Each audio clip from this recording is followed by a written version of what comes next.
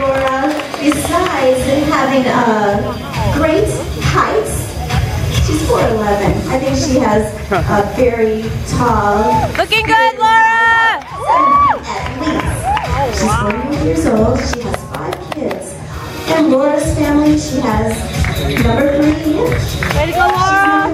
She has one brother. He's the shortest. they call him little Laura birth because he only weighed five pounds and one ounces. She also has two daughters, Alicia and Sarah. And one of them are competing today. She'll see her daughter in the competition as well. She grew up always having big arms and embarrassed about them. But now they come in handy because she